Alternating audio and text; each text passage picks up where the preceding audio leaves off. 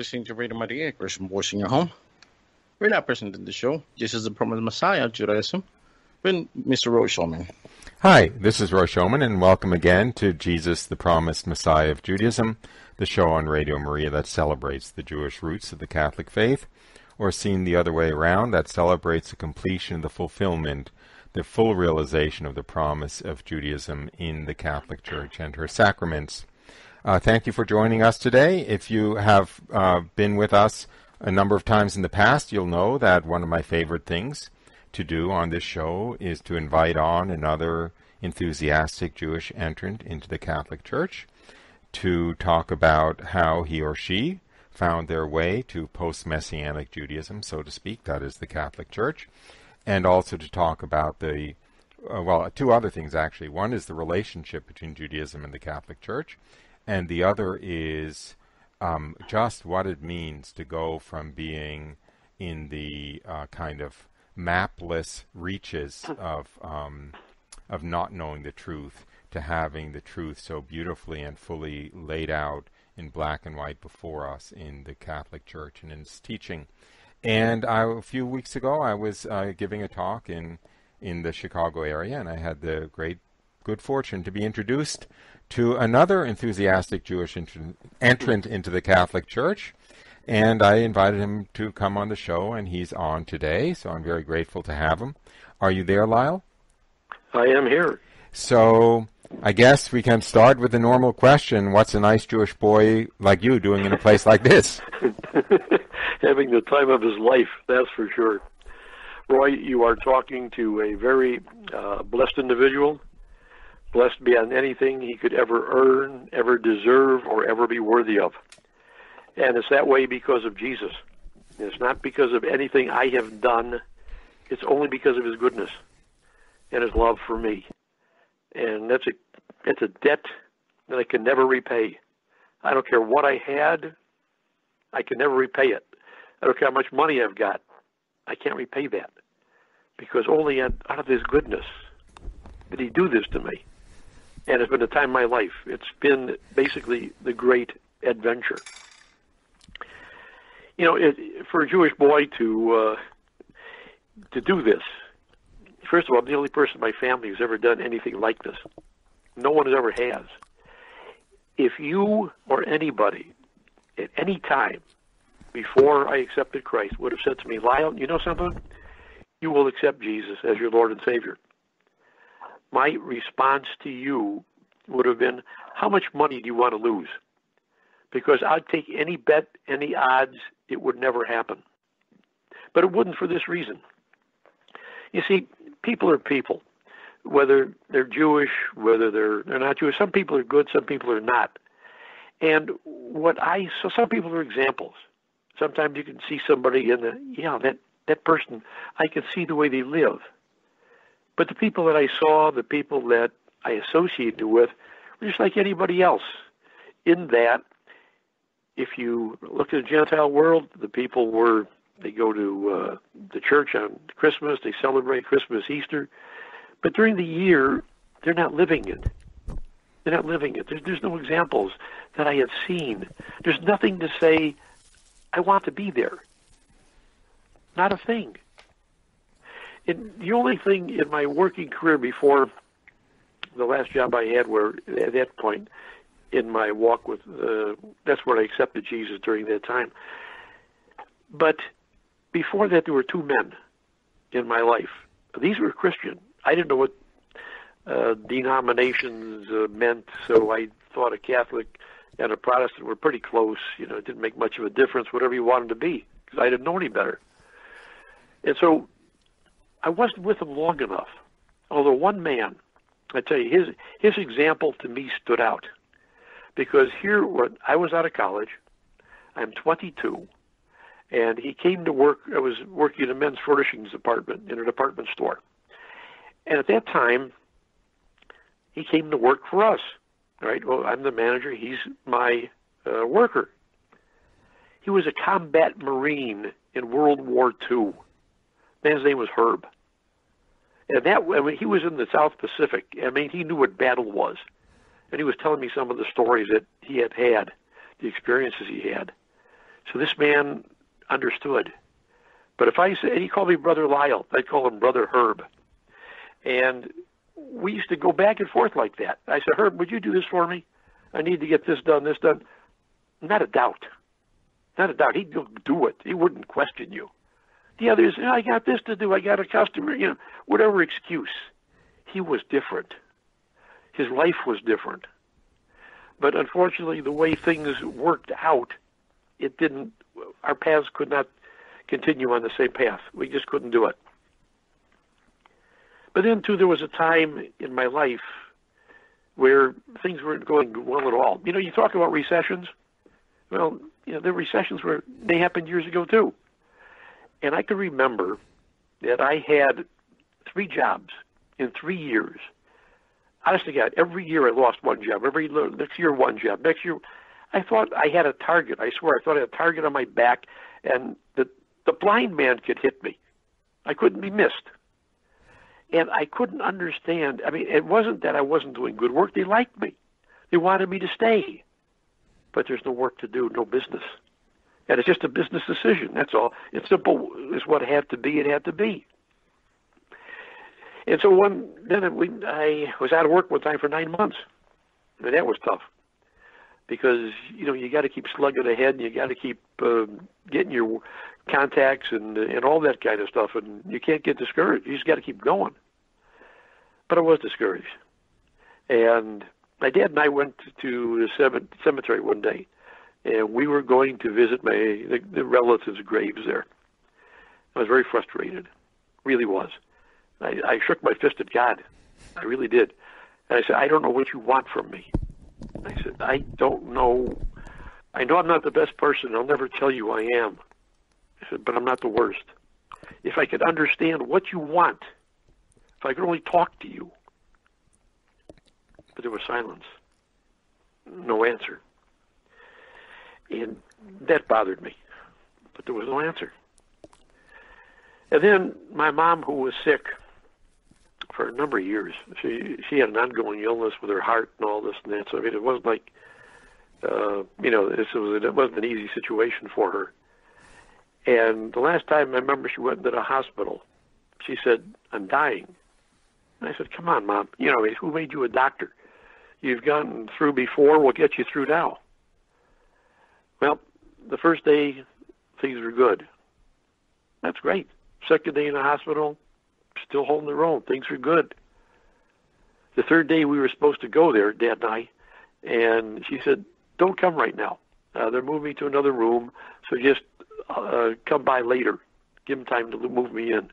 All right, fine. So I get up there and I see the I see a doctor.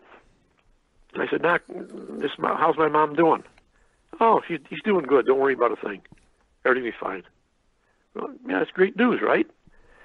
Well, I go in the room. She's connected to everything but the kitchen sink, and I don't know what to make of it. I really didn't know. Uh, I'm talking to her, and then Dad was a little bit behind me, so he came in, and the nurse says to me, "What should we? You can't be in here." I said, "Why not?" I said, "It's my mother. What do you mean I can't be in here?" She says, "Your mother's very sick." Well, like that's not like you know, not like news. She's in the hospital. What's she doing there? And um, I, I said, explain yourself. What, what, what do you mean? He said, your mother is very sick. He said, what should we do if something happens? And now I got the idea. And I said, you do everything that you possibly can. And I said, you spare nothing. You do it all. So she said, okay, we will.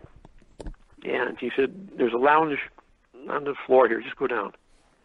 We weren't there 10 minutes. I heard code blue. I went out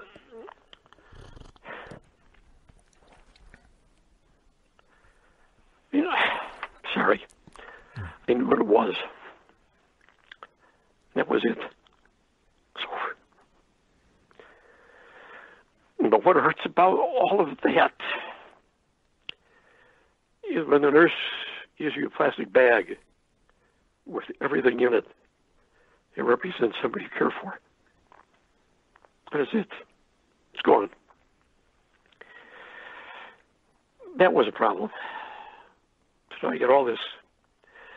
She died on Christmas Eve, in 1991, Christmas Eve. That date's important. I'll get to that in a little bit. When we were, when she was alive, there's something that we could both feel, but never at the same time. Something cold would touch us, whether it was on our feet, whether it was on our bodies. We never could tell what that was. I mean, it was cold. You would know it. But there's nothing that can explain it. You throw it open, the door, the windows, nothing, everything, everything is what it should be. But it was there. And I've been feeling that. But then I felt something that was a little different. I felt something, this was like the summer months now. And when I'm coming home and I want to go through my mail, I say, you know, it's kind of warmer house. I want to turn the air conditioner down. Then a gentleness touched me. I never experienced that before. A nice, gentle, I didn't have to do anything. I was okay. And then one time I experienced something that was in front of me that was so hot. I, I couldn't be near it. I had to back off. Uh, it was, if I look back, I know what they were. This was the Holy Spirit. I know that now. But back then, I had no idea. So I'm telling my father this because I have no clue and he has no clue. We're both together clueless, clueless as we can be. But then there was a program that I used to watch on television, and it was an interesting lady. And what sightings tried to do was explain supernatural things. Okay, well, I just watched it because it was interesting. And I watched one episode of sightings. And in this episode, it said, it, it described people trying to get a ghost out of a house. And they felt something cold touch them. I said, hmm, I can relate to that. So I got, I, I got to figure, I got to, I got to do this. I got to, I got to look into this. See, my mom was, Dad wanted to put her in a mausoleum, and he, he wanted to do that for good reason. No matter what the weather, we could visit. And so we did. No matter what the weather, park in front of the door, go inside, it's covered, and we could visit. And the chapel we had to go into, because this was like uh, on, let's say, the first floor, and then my mom was down one floor. It had a huge stained glass mural of Jesus holding a sheep. When I say huge, it's probably about 15 feet wide, about 10 feet high. Huge. Beautiful. Of course, he's holding a sheep. I, I don't know if it's the lost sheep or what if the sheep, you know, took a wrong turn and he's coming back, made a U-turn. I don't know anything. He's holding a sheep. So one day, Dad and I go are going in this chapel, and Dad says to me, "You know," he said, "I asked Jesus to watch over Mom for me." And I said, "What?" I said, "We don't believe in him. Why would you do this?" He said, "I know, I know, but you know, Jesus is here and Mom's downstairs." Okay. For whatever reason, that thought stuck with me. For whatever reason. So one day there's a there was a couch there. Dad was talking to somebody. I looked at that mural and I said these words. I said, Jesus, I don't know what you said. I don't know what you did. I do know you walked the face of the earth.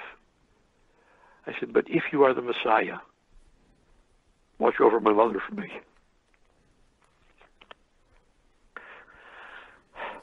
Those words did more than I could ever imagine.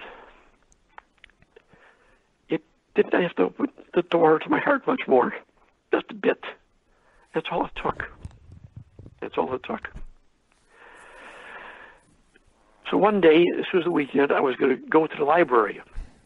I was going to check out what these spirits meant, what was going on. So this gentleness would always touch me at night, always, in the, in the night, the afternoon, always. But on Saturday morning, for the very first time, this gentleness touches me. Sunday night, Saturday night, again. Sunday morning, again. Sunday morning, I'm going to the, I'm going to the library. I'm doing some research. And Dad said to me, "What are you wasting your time for?" I said, "You're not going to find anything there." I said, "Well, I got to do something because I can't explain anything that's going on." So anyway, I'm going through there, and there's a whole bunch of books. I think I looked through every book that there was on the shelves. I'm standing between these two stacks. I mean, there's books and books of witchcraft, whatever you name it. There's a book on it. But just there's a whole bunch of books of witchcraft, and I just decided to pull one out. I didn't think it was witchcraft, but I don't know what I'm dealing with. There's a piece of paper that was in there and it fell out. I read it. It was a really long note. I mean, it was the whole page. But I read it. And basically, you could summarize what was there in one sentence. You will not find your answer here, but you will in the Lord Jesus Christ. It didn't mean anything to me. Not then. But I figured, well, look, you know, maybe it helps somebody. I just put the uh, the note back in, and it could help somebody else. I'm back home. It's one o'clock in the afternoon. I said, Dad, what do you, you know, let's talk about what do you want to eat for supper? Yeah, I don't know. Well, we'll see later. You know, I got, I was working around the house, and he said, just come back later. We'll talk. And then I said, Roy, I said these words that you can't believe I'd ever, I never could believe I'd say them. I said, Dad, you know, I believe that if Jesus that, that if Jesus came today, the rabbis would not accept him, and they would not, because they would be afraid that if they did, their stature would go down and his would go up. That's what it was. In reality, that's what it was. And when I said those words, this gentleness touches me. It's like saying, Yes, yes, you understand. You understand. Well, Dad said we, we decided I'd come back to, see, to talk to Dad later on about what we wanted about three o'clock. I've been in the house. I'm doing work, and this idea is now in my mind. It's going around with a with a power that I've never experienced in my life. I can't imagine what this is like. Three o'clock, we're together, we're talking. Now I don't know three o'clock is the mercy hour. I have no idea what three o'clock is. But as I'm talking to my dad, I said, Dad, I believe that Jesus is the Messiah that he came and he will come again. And when I said those words, this gentleness touches me again. And it's saying, Yes, yes, you understand. You understand. And I could tell you, I felt a joy so great. I was flying. I mean, I didn't need an airplane. If you said to me, Lyle, let's go on pilgrimage, I'm going to buy the land ticket, you know, I'm going to buy the airfare. You just got to pay for the land. I would have told you, Roy, I don't need it. I can fly over there on my own. That's how high I was with joy. I couldn't contain this. I have a Christian neighbor next across the hall, a, a widow.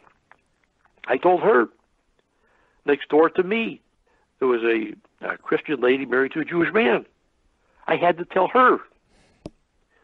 I'm running out of people to tell. So the next day, I had I was going to work. Now this is a Sunday. I want you to understand that. Remember, I told you my mom passed away on Christmas Eve in '91. This is August 30th of 1992 at three o'clock in the afternoon. Nine months later. When do you have a baby? In nine months. I was the baby. I can can't prove it because this is a spiritual thing. Some things you can prove, some things you can't. But I can tell you what I would believe so strongly. I believe that my mom, when she went to see Jesus, and I'm sure she saw the Blessed Virgin, and I'm sure she would have said, Mama Mary, my son needs to know about yours in nine months. So I went to the office the next day. There was one woman there. We talked religion occasionally. She's the only one I talked religion to. I didn't know anybody else who could talk it even. And she happened to be Catholic. So I went in her office. And she get in about 11 o'clock. I couldn't wait to talk to her. Because I, gotta, I have to share this. I can't keep it in. And so I went in her office, and she says, what can I do for her? She was on the phone. And I said to her, Cassie, I said, I believe. She looked at me. What did you say? I said, I believe that Jesus is the Messiah. Roy, she almost fell out of her chair. I mean, I never saw a person almost fall out of a chair, but she did. She said to me, "You go sit in this chair over this over there. I'm going to talk to you when we're done." She did. That was the beginning. That was the beginning because although she didn't understand everything, she, as as the Lord had given me different spiritual gifts, she began to see. She tried to direct me, and the first thing she thought of uh, was Jews for Jesus. Of course, she didn't know they were Protestant. Neither did I. I didn't know what was going on. So I decided to go over to Jews for Jesus. And they're, they're really nice people there. They really were. They're welcoming and all this and that. And this uh, the man who led it, man's name was Jan, really great guy, good teacher. And the the, the thing, so I'm, I'm going there, and I'm listening to these people, and I've been going there for, quite a while, making friends and all this and that. Um, I went to an Assemblies of God church even. I liked them. They were they were good people. I read what they stood for, and it was fine. You know, I, I I could agree with that. But then I was talking to one man over there, and this guy had two kids, and he wanted to send these kids to for religious education. So he went to one church, and he didn't like what they told him. He, he's arguing he's arguing philosophy with them. Then he went to another one. And it's going back and forth. He can't find a church to send the kids to because they don't quite believe what he wants because he's his own basically he is his own pope. He makes his own rules and whatever he thinks it's what it is, it's good. Okay. So Jan one day said, you know, he said to me, well, I said the whole group because he was just the teaching. Find a church that you like and go there. But there was a question that hit me. The question was, how many different churches are there? And how do you know you're in the one that's really teaching you what it really is? And yeah, I didn't know the answer to that right there. So as my friend Cassie began to see the different gifts the Lord had given me, she said, I don't understand everything that you're going through. But she said, Is there a Catholic church near your house? And I said, Yeah, there is. And uh, she said, Ask you if they got a charismatic prayer group there. Just call up. Well, I did. And it turns out they did have one. No, I, I didn't know charismatic for a manual transmission. You know, I, it's a word I've never heard in my life. What do I know? But anyway, called up. And they did have one. And they put me in contact with the group leader. And I, I went to her house. And so when I got there, not only was I made to feel welcome, but one thing was also there. They understood me. I could talk to them, and they could understand what I was saying. It was like, you know, like you're you're talking to a foreign language. Now it's not foreign anymore, and I could see. But I'm going there, and what, what I went there for a while. I'm going there now every all the time. So what happened was that they invited me to a healing mass. And I didn't feel comfortable at first. Not at first. I just declined. It's okay if you whenever you're ready. It's okay. And I tell you my father all this. Of course, he can't understand whatever happened to me. Why would I ever do this? He said, I think you're going down the wrong road. He said, why don't you call the rabbi and talk to him? I did. I did call the rabbi. And when I talked to the rabbi, the rabbi said to me, Lyle, you should get this out of your head. Get don't take up fishing, and get your get your mind set on something else. Forget this nonsense. You don't forget. You don't forget what's gone on and what you what you're experiencing. You can't do that. In any event, one day I did go to a healing mass. I saw I, when the mass began, you know, and then I heard the first reading. The first reading was Isaiah. I had heard Isaiah in the synagogue. I mean, this is new, not new to me. This is what's there. I heard the, the psalm chanted.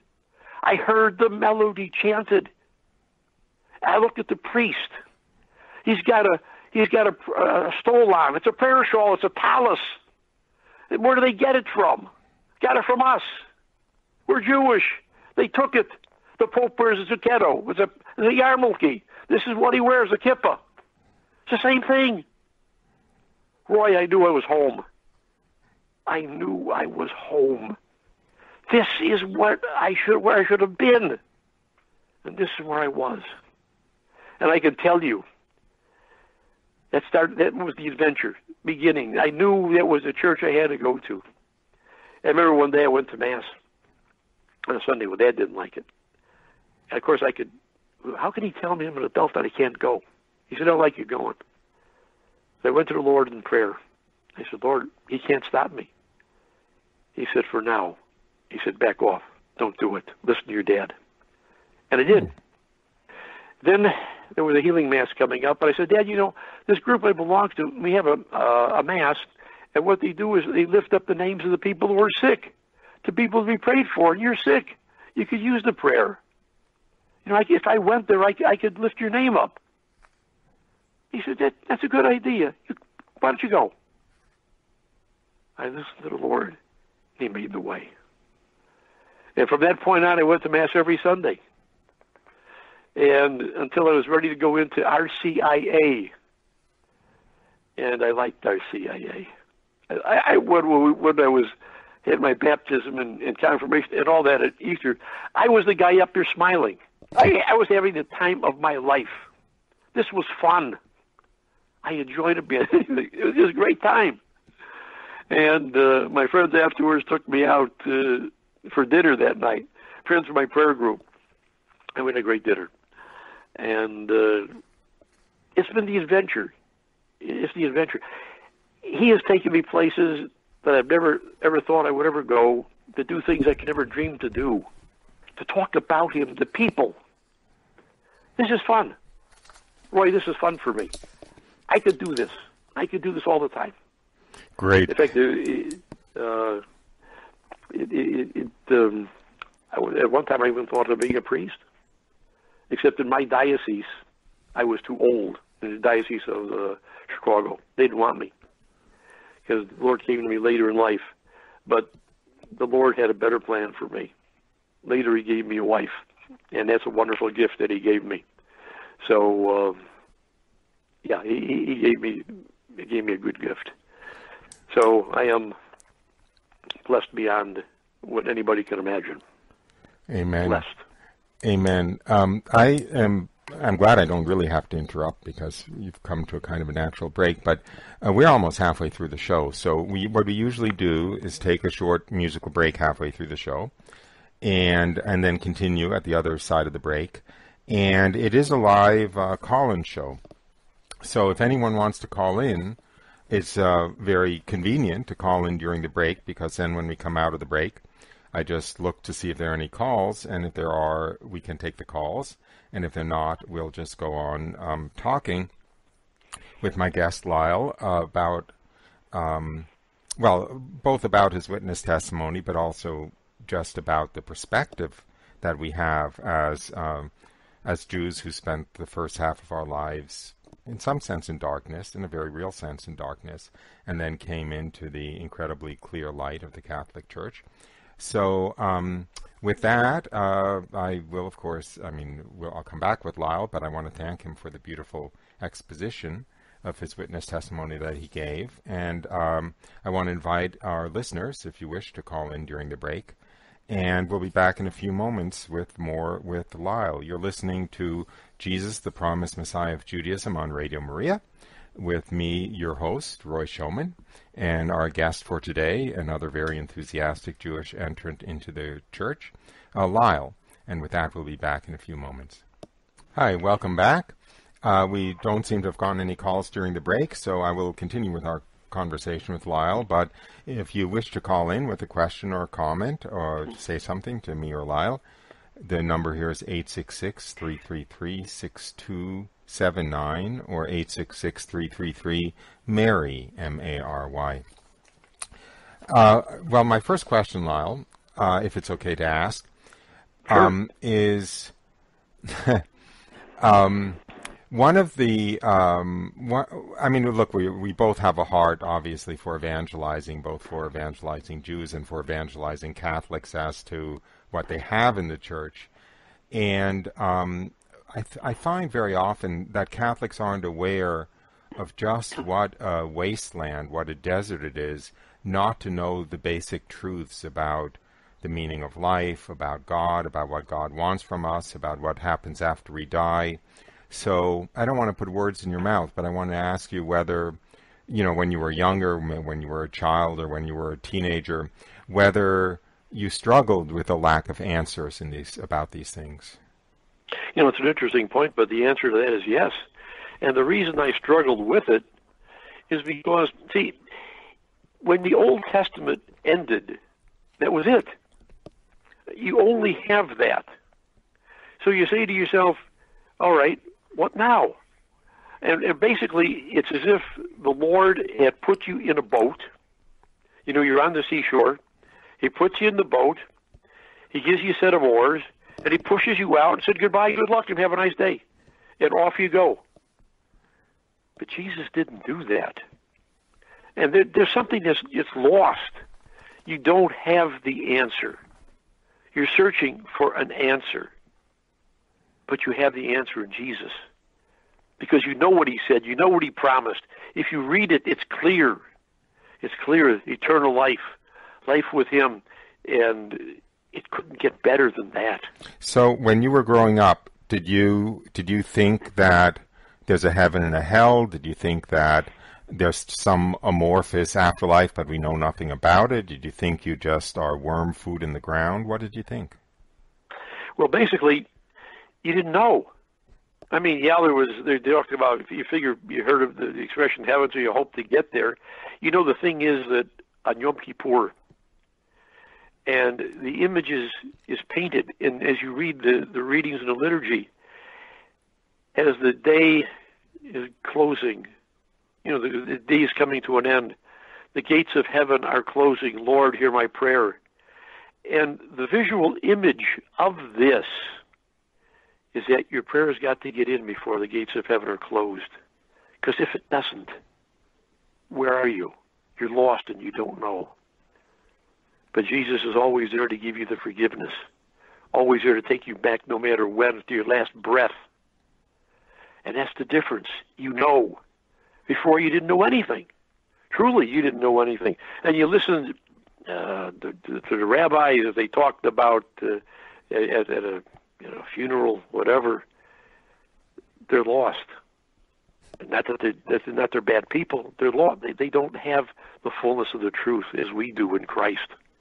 I um I, I buried my mother recently, um, uh, more, more recently than you did, but it, I don't want to go there now. That's not the point of the show, but it had a very happy ending. She did have a miraculous uh, conversion to Jesus on her deathbed, but but wow. um, uh, I'm actually jumping ahead. I had just about uh, when, when my mother was died and was buried. That was a Catholic burial.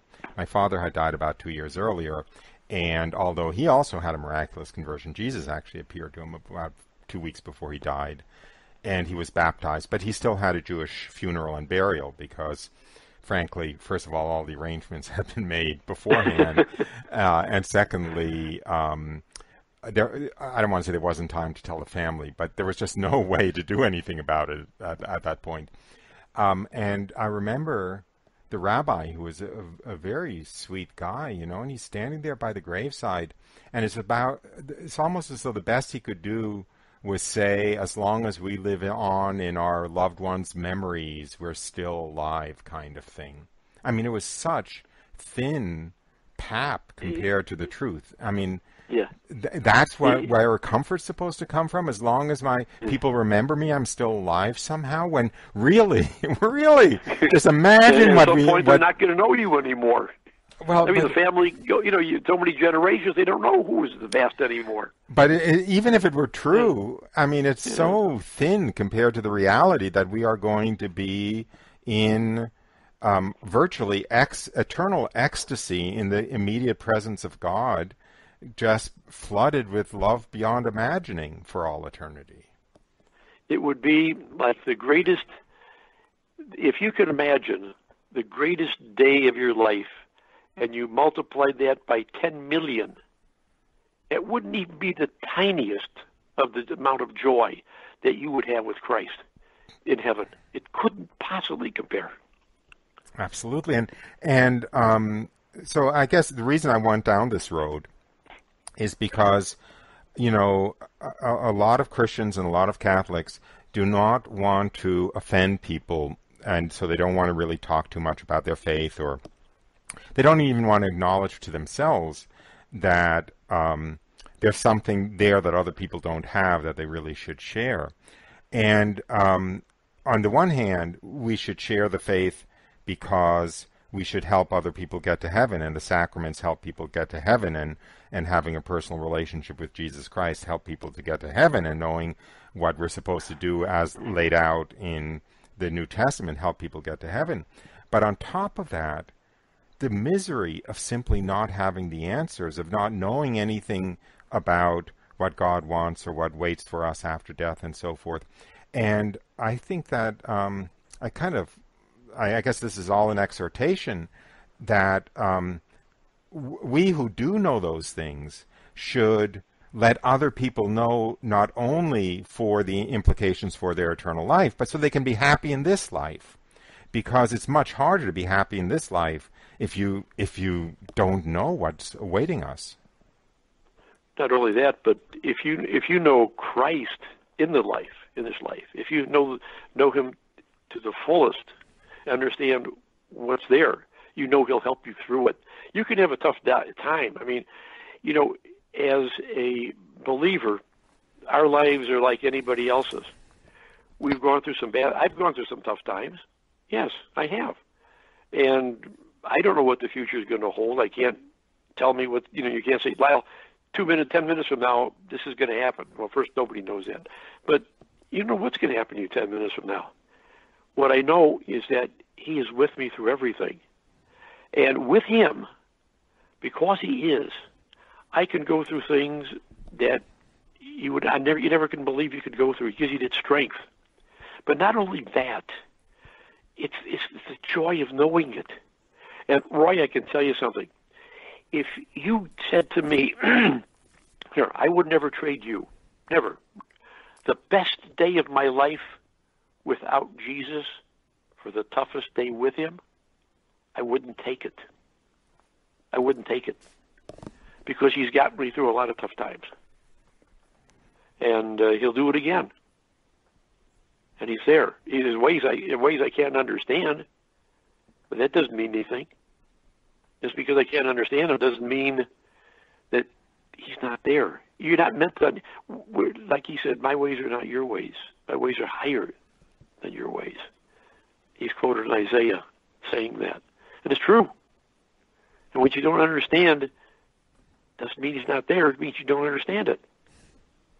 I don't understand um, quantum physics. It works. You know, it, it's there, but I don't have to understand it. But Jesus is better. Yeah, I, I often think it's so ironic that people. Uh, uh, I obviously try to evangelize when I can, and some people basically kind of almost refuse to believe in God unless they first are in a position to understand why He does everything He does.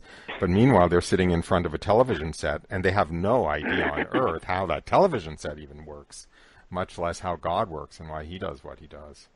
It's you, know, uh, I'm talking about. T- I, I've got a podiatrist, and I, I have conversations with him. He's Jewish. He knows. I, he knows. I'm, I'm Catholic. I was Jewish before. He knows this. So we talked about God. We talked about Jesus. So he said to me, he said, you know, he said, really, one of the best proofs that you can have for that that Christ is who He says He is, because there's an Israel today.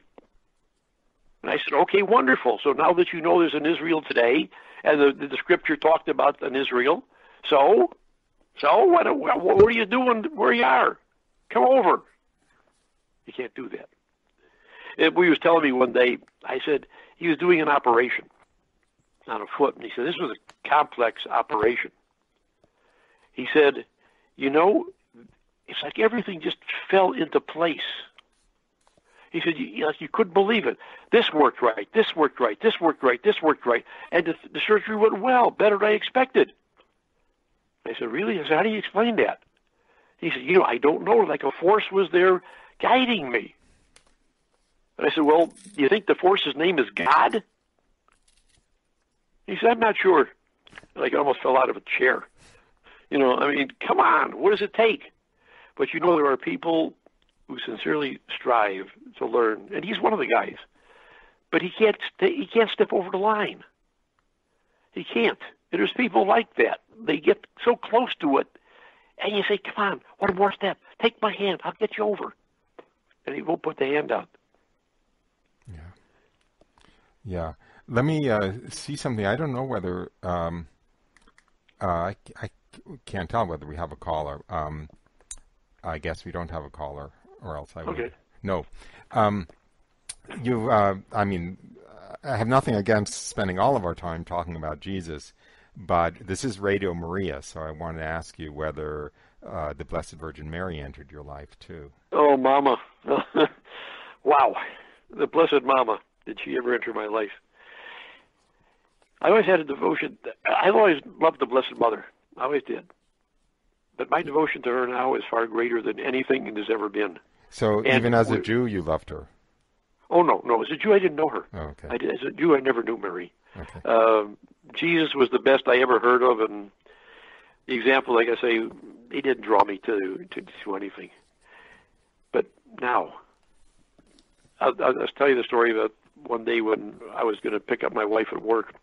The weather forecast was be extremely, extremely bad storm coming our way, and heavy snow, heavy winds, and so she worked the night shift. I said, you know, don't drive because I'm better driving at night. I mean, this kind of weather than you are.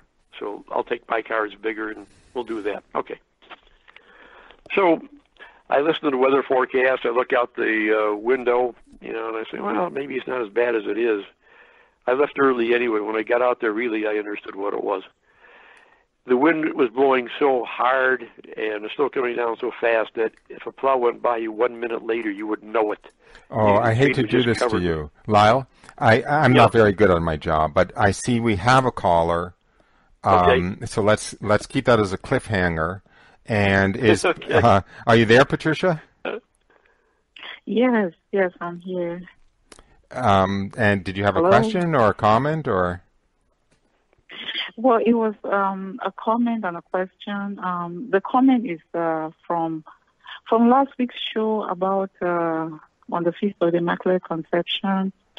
Um, like the exactly what you read about uh, the meditation from Dom Guéranger.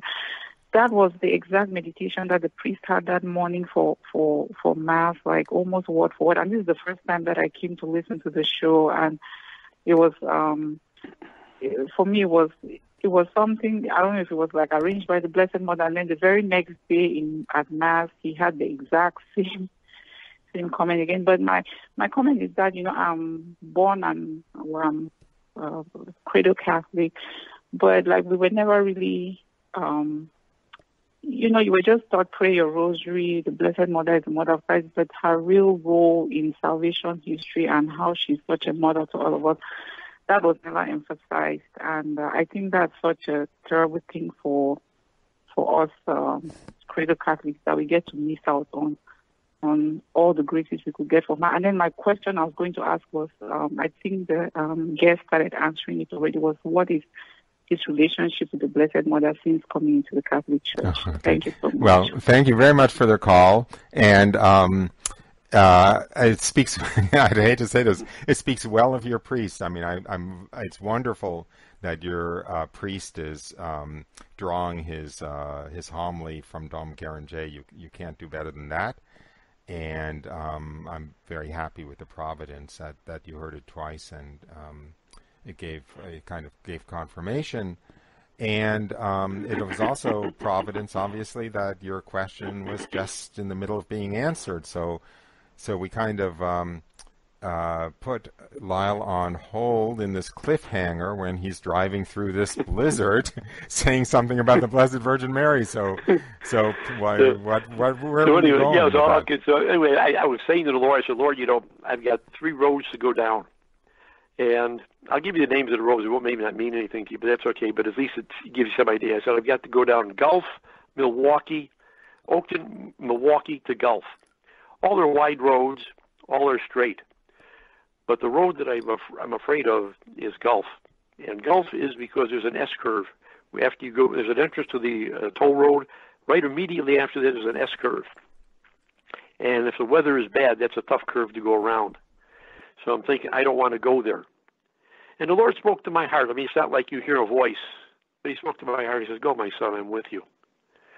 Well, I'm going down Oakton, and it's okay. Not good driving, but it's I'm I can I'm doing it. I'm going slow, but it's all right.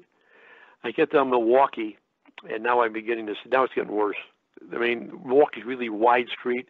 I can see very far, uh, both sides, what traffic is there, but I'm getting whiteouts. And maybe some people who listen to this program may not understand, but a, a whiteout condition when it snows is that the wind and snow are coming down with such an intensity that everything is totally white. You have no reference points anymore. You don't know which is left, right, up, up, down. You know nothing. and the whiteouts on Milwaukee are coming, and I'm getting afraid. I mean, they're not lasting long, but I'm I'm getting afraid. I mean, I've driven in this all my life, so it, it takes a lot to make me afraid of the the weather. This did. Hail Mary, full of grace, the Lord is with thee. And I'm starting to say the Rosary, and I'm saying the Hail Mary, because I'm starting to be worried. And I'm getting toward Golf. The whiteouts are coming. I said, uh, Lord, I don't want this. I don't want to go down Golf. I don't want that S curve. Go, my son. I am with you. Now I am on Golf. And now the whiteouts are last coming frequently and they're lasting longer. Hail Mary, full of grace, the Lord is with you. I'm starting to say, Mama, I said, I need help. Mama Mary, I need help. Because this S curve is coming up, Mother. I've never done this before like this. Never. Never asked her for anything like this. I'm getting toward the point where that S curve is coming up, and now it is a total whiteout. I can't turn. There's no place I could see to turn. And everything is just white. And I said, Mama Mary, I said, you got to help me. I said, because I can't go around that curve without turning the wheel, but I don't know when. So, Mother, I'm going to hold the wheel straight. I'm not going to turn it left or right until you tell me. I held the wheel totally straight. When I got it, when the snow lifted, the whiteness lifted, the whiteout was gone, I was on the other side of the S curve, and I did not turn the wheel of the car. That's what Mama Mary did. She saved me. And since then, I know very well Mama Mary. I know her well. My devotion to her has increased beyond what it was before. And she's worthy of that. She brings people to her son. What greater gift can you have than the Blessed Mother doing that? To help you know Jesus. And boy, what a gift and what a treasure she is to, to, to know her, to see the love that she has, this love for every one of his of the children of God. Only you got to put out your hand and say, Mama, help me. Mama, if I don't understand, help me to understand, Mother. Help me to know about your son. Help me, Mama Mary. She'll do it. And that'll be the greatest gift. It'll be a gift you can't imagine. The best gift for Christmas. To know Jesus.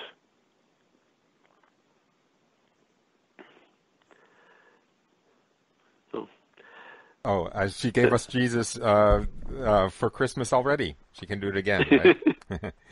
Because it was you get Jesus her. again for Christmas, right? Again for Christmas, just like she did. Right, the, the, it's the gift that keeps on giving. Two thousand years ago.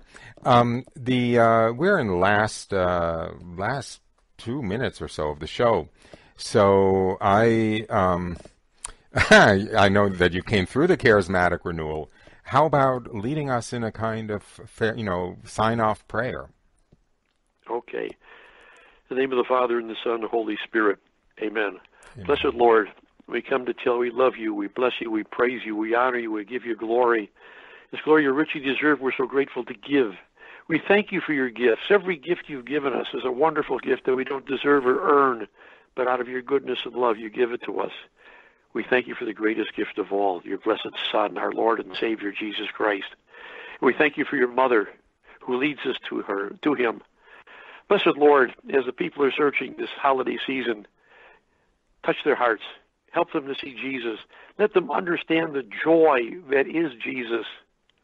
Let this word spread throughout the world. Help the people who are blind and don't see.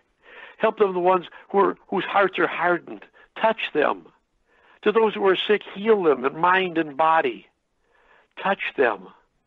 To the people who think this whole world is nothing but power and they have power and influence, it's everything. Help them to see only you are worth having. because the power and influence will die with them in the grave. But you will live on, and they could live on in you. Help them to see, Lord. Help them to see. Help them to know. Help them understand. Mother, Mama Mary, help them as well. We ask this in Jesus' name. Amen. Amen. The Father and the Son, Holy Spirit. Amen. Amen. Well, thank you from the bottom of my heart. Thank you so much for for your um, everything, for your beautiful witness testimony, and for your exhortation, for your evangelization. Somehow, I have a feeling that as you go through your day in the workaday world, you are still evangelizing. I can't imagine uh, uh, that not being the case, given the way you speak. and uh, so, thank you very much for coming on. And I want to thank, thank you. Our... Give me the opportunity, Roy. Thank you so much. Yeah, well, I'm, I'm I have to shut you off, or else I'm afraid next week it'll be your show. Um, they'll they'll just say, "Well, we've had enough of you. Why, where, what's this guy Lyle's number?" anyway, I, it would not be such a bad move for the station to make, but maybe maybe they'll hold off a while. In any case, I want to thank you so much for coming on. I want to thank our listeners for having been uh, with us. I want to, of course, with wish everyone a wonderful end of Advent and coming up Christmas. not that I won't be here, but just because um, it's uh, on all of our thoughts now. And um, so it's time to say goodbye for now, and I hope you join okay. us again next week, same time, same place, for Jesus, the Promised Messiah of Judaism on Radio Maria. Bye for now. Bye.